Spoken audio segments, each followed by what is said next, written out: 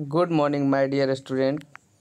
जैसा कि आप लोग जानते हैं कि 2020 सॉरी 2021 का मैट्रिक एग्ज़ाम जो है कि बहुत ही आपके सही समय, उसी समय पे होगा।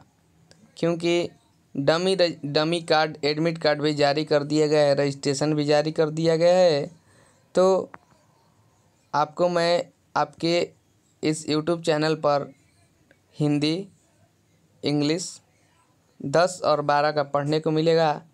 तो आज आप लोग के बीच में दस का सिलेबस लेकर आया हूँ, ताकि आप लोग को बहुत अच्छे से जानकारी हो जाए कि दस क्लास का हिंदी कहाँ से हंड्रेड मार्क्स पूछे जाते हैं। तो आप लोग को, सभी लोग को पता होगा कि बिहार बोर्ड ने बच्चों को सहूलियत के लिए साठ मार्क्स का ऑब्जेक्टिव पूछता है। लेकिन जिसमें आपको पचासी मार्क्स का जवाब देना होता है।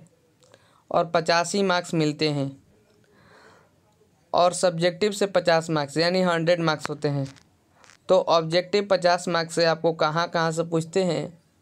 तो व्याकरण से आपको ऑब्जेक्टिव में पंद्रह मार्क्स से पूछते हैं, जो कि संज्ञा, सर्वनाम, क्रिया, विशेषण, समास, संधि, कारक, काल, विपरीतार्थक शब्द पर्यावचित शब्द, एक शब्द के अनेक शब्द, लिंग निर्णय, मुहावरा इत्यादि आप लोग से पूछा जाता है और ये आपको पंद्रह मार्क्स मिलेंगे और ये सभी आपके वस्तुनिष्ठ होंगे, यानी कि आपसे परिभाषा नहीं पूछा जाएगा, ना ही किसी का भेद पूछा जाएगा और भेद भी पूछा जाएगा तो आपसे ऑप्शनल पूछा जाएगा, यानी ऑप्शन आपके सामने रहेगा। तो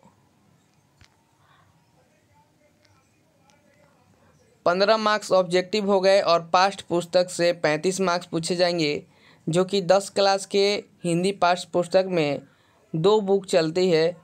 पहले बुक का नाम है गोधली और दूसरे बुक का नाम पूरक पुस्तिका वर्णिका, जिसमें गोधली में गद खंड यानी प्रोज सेक्शन में बारह पाठ पढ़ने हैं और पद खंड यानी काव्य खंड पोइट्री सेक्शन में बारह पाठ पढ़ने हैं।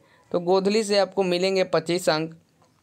इसमें आपको लेखक के बारे में, लेखक किस चैप्टर का, किस पाठ का लेखक कौन है, बीस के दांत के लेखक कौन है, या शिक्षा और संस्कृति के लेखक कौन है तो यही सब आपसे ऑप्शनल में पूछा जाएगा। वर्णिका से भी पूछा जाएगा, जिसमें पाँच पाठ पढ़ना है, और इससे आपको दस अंक मिलेगा।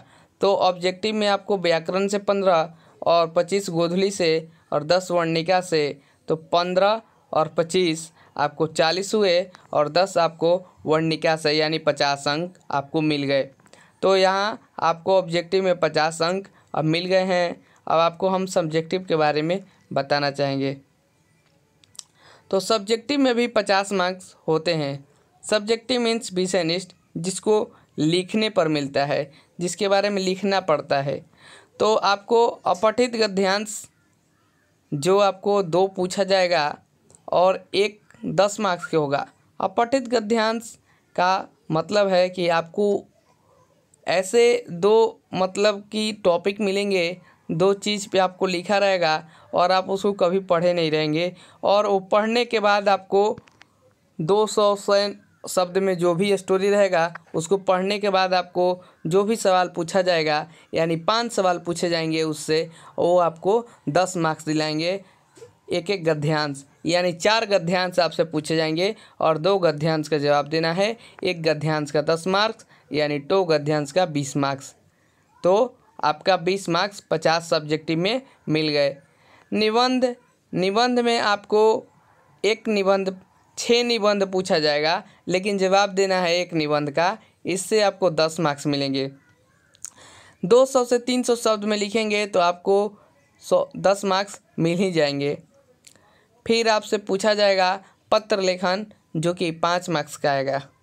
पत्र लेखन एक रिश्तेदारों के पास लिखा जाता है और एक ऑफ़िस के लिए हम लोग लिखते हैं। तो दोनों रहेगा आपके सामने अर्थवा में, लेकिन आप किसी का एक जवाब देंगे, आपको पाँच मार्क्स मिलेंगे। फिर आपके सामने लघु उत्तरीय प्रश्न, जो कि पाँच रहेंगे और दो दो मार्क्स के पूछे जाएँगे तो आपके दस अंक मिलते हैं। और दीर्घ उत्तरीय प्रश्न से आपको एक दीर्घ उत्तरीय प्रश्न रहेगा, जिससे पाँच अंक मिलेंगे आपको।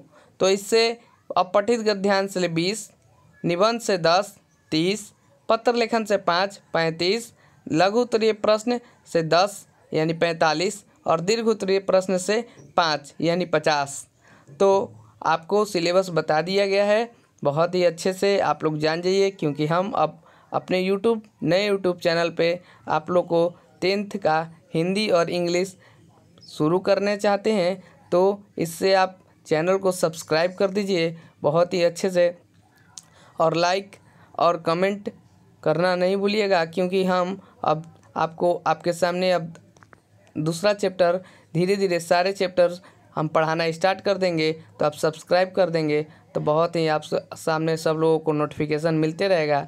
ठीक है, don't forget, subscribe my new YouTube channel and and do not miss my video. Okay thanks.